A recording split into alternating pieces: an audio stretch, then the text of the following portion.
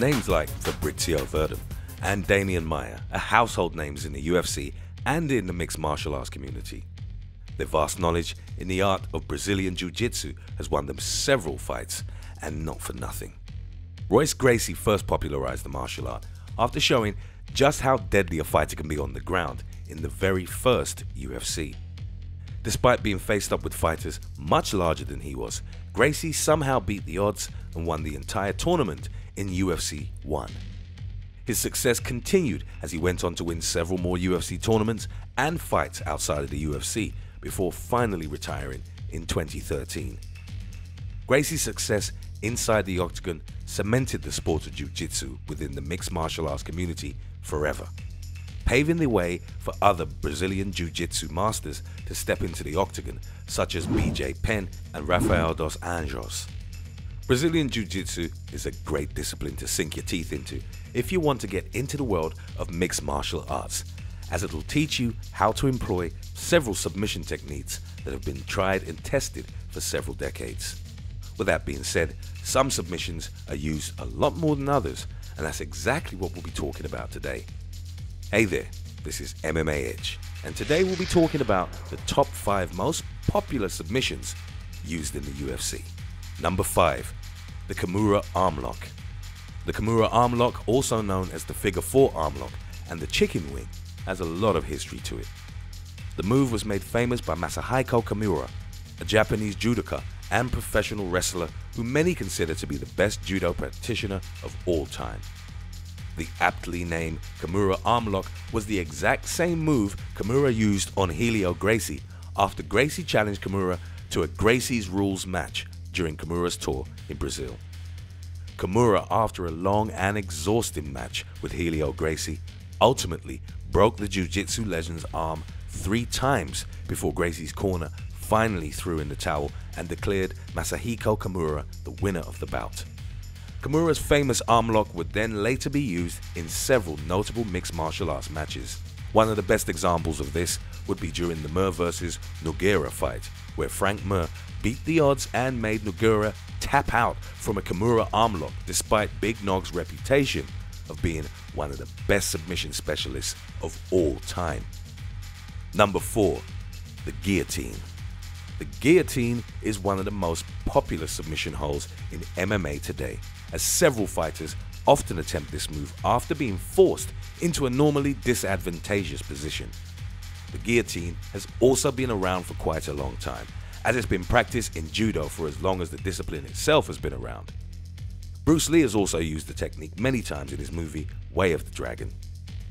Whether the move is being executed in the context of a street fight or a feature film, the guillotine is a great submission to use if you ever find yourself laying on your back.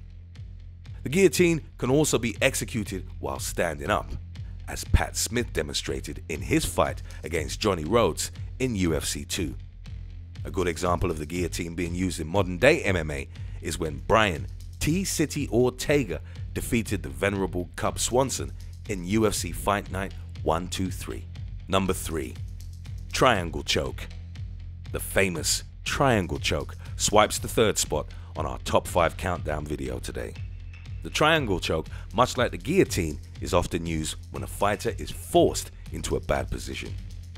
The triangle choke is a fighter's usual choice for a submission hold if an opponent is trapped inside their guard evidenced by Royce Gracie when he made Dan Severn tap out using this move after a grueling match that lasted over 15 minutes in UFC 4.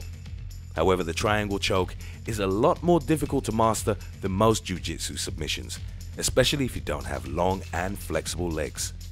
With that being said, it's still perfectly possible to execute the move regardless of your build, so long as you practice it often.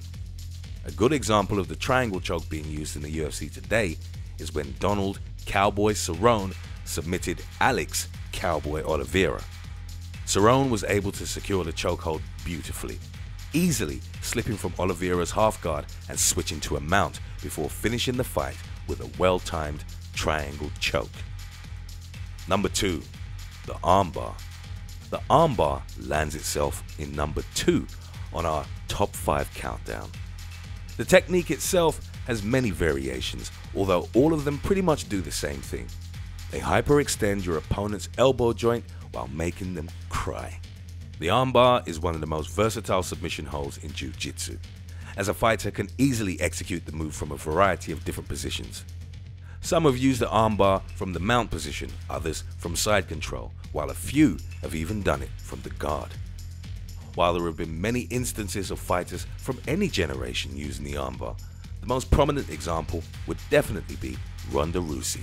Rousey hasn't only influenced the sport of MMA by showing the world that women can fight well too, but she's also popularized the armbar, using it to finish some of her most memorable fights in the UFC against Miesha Tate and Liz Carmouche, to name a few.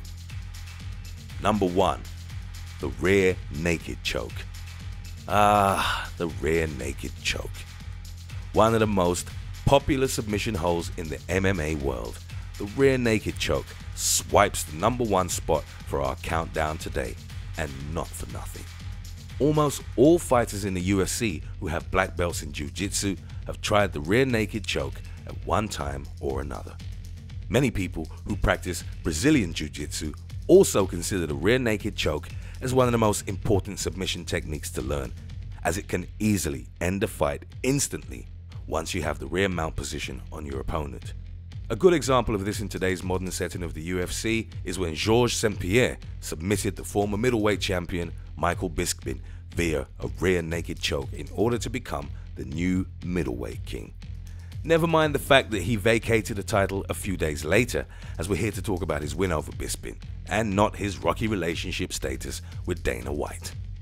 Going back to the fight, even despite the fact that St. Pierre dropped the count with a vicious right hook that almost knocked Bisping's lights out, St. Pierre still had a lot of trouble finishing Bisping off while being caught inside his guard. St. Pierre's real weapon was the rear naked choke, as he quickly sunk in the hold after Bisping left his back exposed for a few short seconds. Bisping and St. Pierre's fight just goes to show you that even the toughest fighters in the world won't be able to withstand the rear naked choke, so long as the opponent gets the opportunity to pull it off. And that's going to be it for today's video. Please leave a like, comment on the video, and hit that subscribe button if you haven't already for some more awesome mixed martial arts content.